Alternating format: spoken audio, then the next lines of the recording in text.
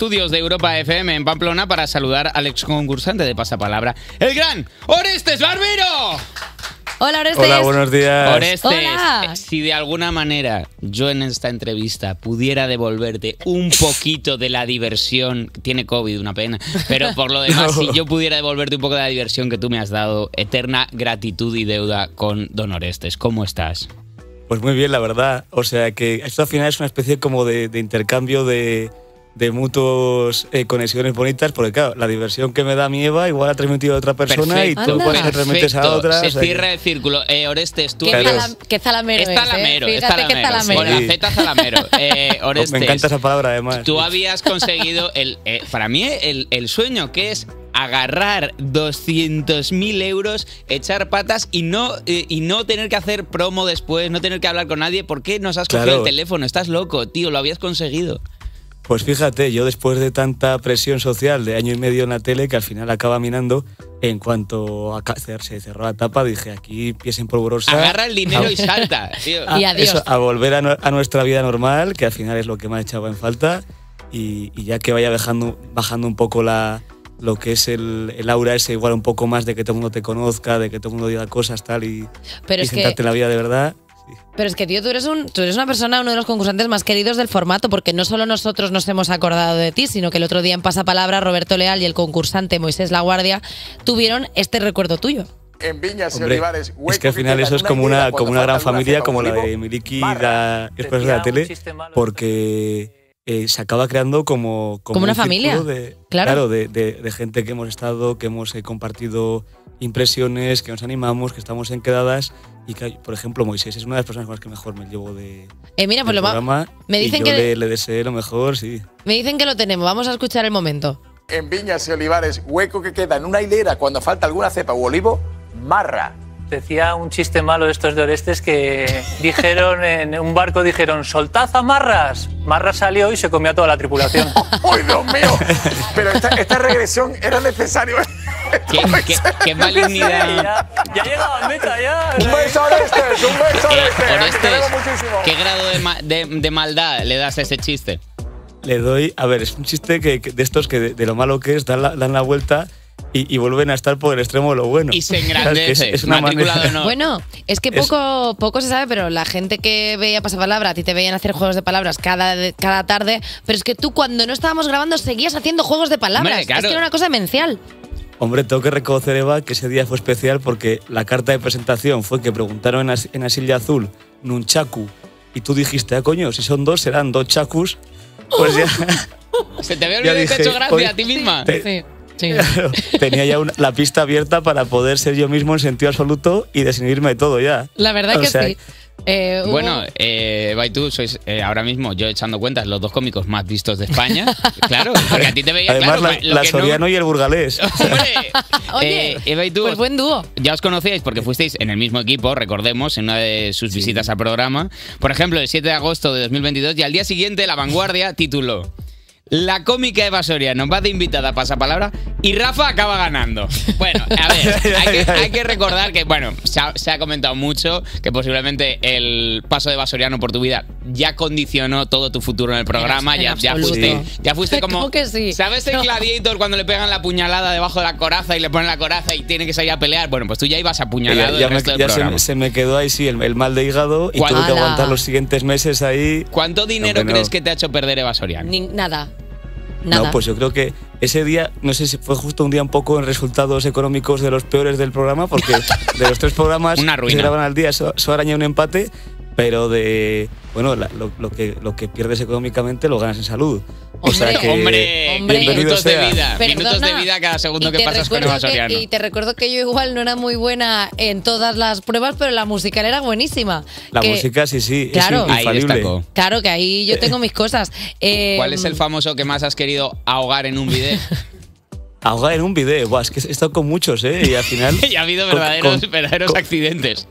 Pues sí, pero como con to- todo el mundo va con buena actitud y ahora las pruebas dan muchos segundos, pues no te preocupas de, de cómo hacer. Aprendes a cómo disfrutarlos. ellos, te preocupas en hacerlo bien tú y en disfrutar del día. Así que eso es Eh, un acierto por parte de, de las pruebas, sí. Orestes, ¿qué tal llevas tú? Porque por calcular el nivel de fama que alcanzaste en tus años de pasapalabras, si sales un día por una ciudad grande en hora punta, ¿Cuántos abrazos puedes dar? ¿Cuántos selfies te piden? Foto O con sea, mi chiquillo, Más o bendícelo. menos. Bautiza a mi hijo con una palabra graciosa, que, que eso te Pues- lo pedirán también.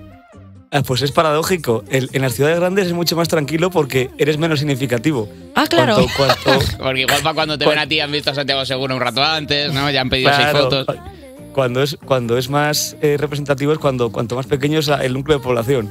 Y sobre todo si es tu ciudad y es una ciudad eh, más de provincias y mediana, como es Burgos. Claro. Y es que, por suerte, voy una vez al mes, porque si no, de verdad que no gano para. ¿Qué es lo más loco que te han pedido así a nivel fama? De, pues mira, fírmame al chiquillo, que quiero que sea listo o algo Ah, así. bueno, cosas así, sí, pero bueno, el otro día me, me encontré con un matrimonio joven de treinta y pocos años ¿Sí? que iba a tener el primer hijo eh, y se planteaba el llamarle Orestes. Así No, me bueno, acuerdo de eso. obligatorio, obligatorio. Claro, porque si quieren nombres así para sus hijos originales, el, el mío es buena, buena Perdona, eres como. Da- Daenerys de Juego de Tronos y todas estas. Ahora es Bueno, Orestes primero de pasapalabra. Nombre El no mío por lo menos es, maravilloso. es real y tiene una historia, sí, sí. Y además has dado eh, el salto a la gran pantalla junto a José Mota y Pepe Villuela con el cameo en el Hotel de los Líos. Vamos a escuchar tu aparición en el tráiler, por favor. Ya, hombre, no se haga zapastas. no, no, que no puede ser, que eso no recoge la RAE. Era, ¿Esta es toda la aparición? Esa es toda la aparición, sigue un poco más. Te, Ah. te, te recortaré- te han recortado frases. Orestes, Sí. ¿tú cómo te viste en ese ámbito? Pues eh, me, me quedé con la reflexión de Fernán Gómez de que, de que el cine es el arte de esperar Uf, y de tener paciencia. te pagan por esperar. Esto los fue- actores y las actrices lo dicen mucho. Exacto, porque he puesto una tarde entera para grabar 20 segundos. Y tú, bueno, pues nada, que tú- que- trabajo. Sí, Eh, ¿Te pica el gusanillo de la interpretación después de esta- este pequeño cameo? ¿Dirías que podríamos verte en alguna producción más? pues mira, eh, sirvió justamente lo contrario, para ver que no era parada mi, mi camino. ¿En que serio? no vuelvo a acercarme ni a 100.000 kilómetros de un set de rodaje. Pero tú no A te ves como... como... el vuestro de cabeza, pero esto ya... sí. De ¡Hombre! verdad, Orestes, que aquí somos fans reales. No ¿eh? lo digas Te dos veces que te ponemos aquí una sección sección de palabras. No sé qué le, puede- qué le podemos poner ahora este. de, Mira, de curiosidades de culturales sea, y pues si musicales. de todo. vamos a hacer una cosa. Vamos a pensar qué sección le pondríamos a Orestes. Vamos a escuchar una canción, Sia Unstoppable, y ahora volvemos con Orestes Barbero.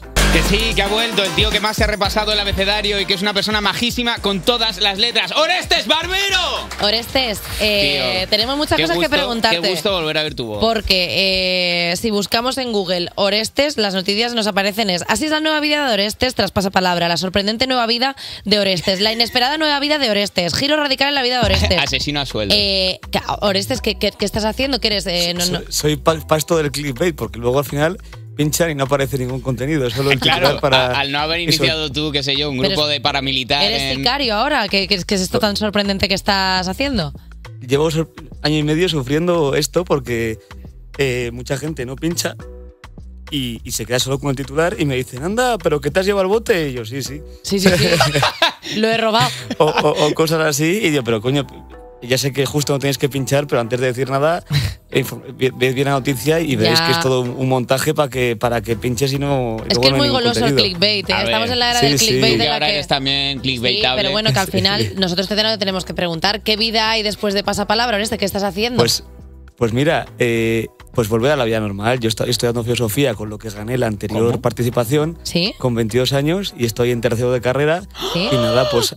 sí. ¿Sabes, Oreste, sabes que yo con, con unos ingresos más humildes que los tuyos, eh, gracias al entretenimiento, sabes que hice exactamente lo mismo hace dos años. Qué bonito esto. Me matriculé es en filosofía en la. Complu y estoy yendo ahí a clase con los chavales.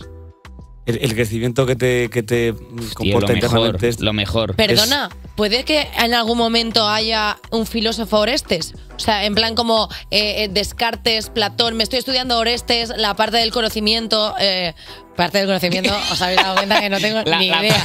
ha, ha sido La con un palo a dar a la piñata a ver qué tal. No, pero ¿Cuál, es, ¿Cuál es la asignatura en la que has sacado mejor nota hasta ahora? Pues eh, la asignatura que saca mejor nota, pues una que, que me gusta, pero no es la que más, estética. ¿Qué? Buenísima. Ah, buenísima. Sí. Ha habido Es, gusta 10. es- un, un pecho pequeño, estética. Ah, bien, un juego de palabras, Y le dije, bien. pero a este chaval hay que ponerle un 10. ¿no? Uf, yo imagino que los chavales en clase, cuando te ven, que ellos pugnan por las matrículas, que para ellos de honor, que para ellos es un ingreso que significa algo, te ven entrar en clase y dicen, vaya por Dios, ya se jodió. Vaya, Pues no, porque, porque fíjate, justo estos dos cursos, con, al coincidirme con el programa, yo me lo tomaba con mucha tranquilidad. Y como es la segunda carrera, que es Sí. por el, el puro afán de aprender, Por el gusto. en, en la que los resultados así más fácticos importan menos, pues eh, he ido a las clases que he podido, que no me coincidían con grabaciones, he hecho los exámenes que he podido, que no me coincidían con grabaciones, y ahora en junio es cuando los no presentados por coincidencias del curso pasado y de este, estoy solucionándolo un poco así, pues a salto mata, pues Bueno, pidiendo sí. apuntes no a baja- última no hora. baja del 9. A ver. Sí, que no, baja, Salvando que no no, no, del no, 9 en no. su vida. Estábamos Es más, muchos voy a, voy a sacar la- los papeles, ¿eh? Eh, a salvar la- los muebles, copiar, mejor dicho. Y, y Em. luego ya, el año que viene, que ya me va a dedicar a zambullir por fin un cuarto de carrera bien. Ahí sin- se van a meter sin en actividad de fondo. Ahí a lo mejor y así que vamos con, la, con el machete no entre los dientes. Ya este año no. Y el, y el anterior no se ha podido. Sí. Vamos a hablar de algo que sí que ha sido un cambio radical, porque mm, eh, me puedes poner Mus Tensión, fue a Music, porque eh, es verdad que ha habido un giro inesperado en la vida de Orestes y es que te han hackeado la cuenta de Instagram. Orestes, ¿cómo puede ser Pero, que tú, ¿cómo? con la cantidad de ¿Pero qué palabras que tienes en la cabeza, tengas una mm, contraseña de Instagram que se pueda hackear? No, no, no, no fue la contraseña, fue que justo estaba en, en- en Israel, eh, pasando ayer a Semana Santa, ¿Sí? y el, el Jueves Santo, ¿Sí? que justo tiene después tres días festivos hasta, hasta el lunes, ¿Sí? eh, y estando además en Israel y sin batería, teniendo que pillar wifi y tal, claro, me llega de repente un SMS y pincho sin querer y ya me la, se me quitó. Y no veas, que- no veas que angustia esos tres días, ¿eh? diciendo, ¿Qué? joder, aquí todavía me pillan los datos o, o algo, pero bueno, ya se ya inhabilitaron y, y fíjate, al final me ha hecho un favor porque he estado mes y medio eh, más a gusto que en brazos. ¿Ya Ah, desconectadísimo. ¿Lo tienes de vuelta ya o no? Eh, no, me, me haré otro directamente, yo creo, ya en en breve, cuando acabe ya el curso a gusto. Pero vamos, que es como que lo tengo ahí en el horizonte, pero tampoco me, me apremia demasiado, ¿eh? A ver, a nosotros nos ha costado, nos ha costado la vida contactar contigo porque hemos tenido que Sí. remover a media tres media. Bueno, básicamente le hemos preguntado a Roberto Leal, ya está, ya lo he dicho. Claro. Eh, porque no teníamos cómo hablar contigo y así que de- que te devuelvan en Instagram, por favor, ni que sepa subir fotos de flores o algo así o de palabras así perdidas.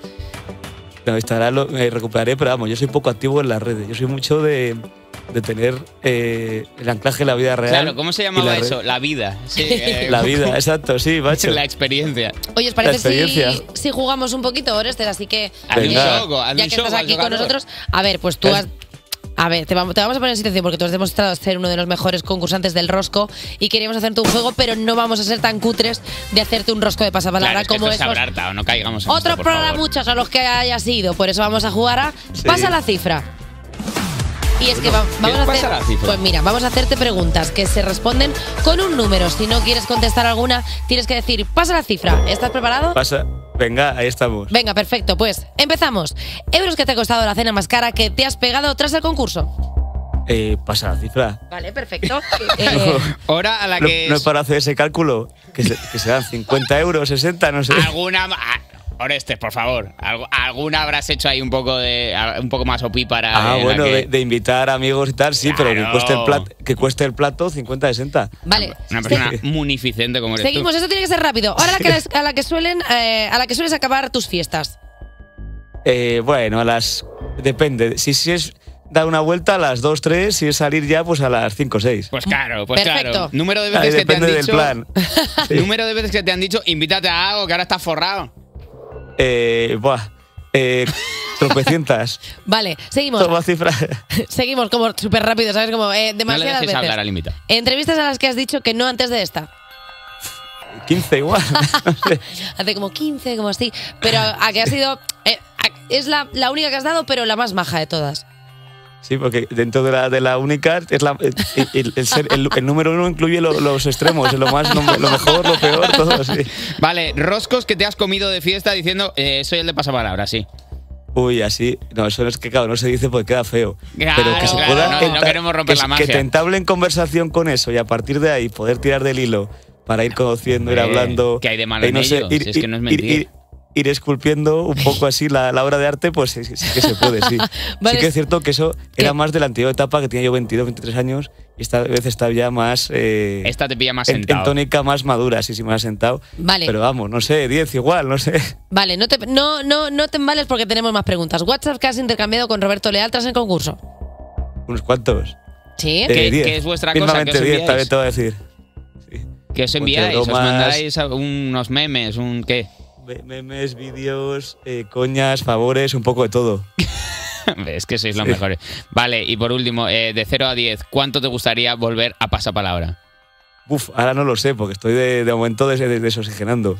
En unos años seguro que, que mucho. Que 25. Eh, pues, ahora tengo, tengo en horizontes, eh, cuando pase también ya la exclusividad del año, hacer otras cosillas. Saber y ganar me encanta. Uf, me encantaría. Saber y ganar tío. ahí te puedes Sí. sacar una oposición, ¿eh? Eh, magnífico desde el primer programa, tío. Creo que te darían ya te Pero bueno, convalidan para ser 70. magnífico harán falta 15, 20 programas, ¿eh? Sí, No- pero yo creo que te los convalidan. Va, Hay que investigarlo. Orestes Barbero, muchísimas gracias por venirte esta mañana a pasarla con nosotros. La verdad es que ha sido un Bueno, placer. como, como dice Charlton Heston, gracias por venir. Orestes, eres el mejor. Conserva el Gracias. Oye, de verdad. muchas Muchas gracias, gracias. Un abrazo mucho. enorme, tío. Gracias por Jolín, todo. que- Hasta la próxima. Es que es el mejor. Adiós. Qué bien que haya venido, que me ha hecho muchísima ilusión. Oye, adiós, venga, pon, pon- música. Hala, hasta luego. Pon algo y hablamos de Oreste.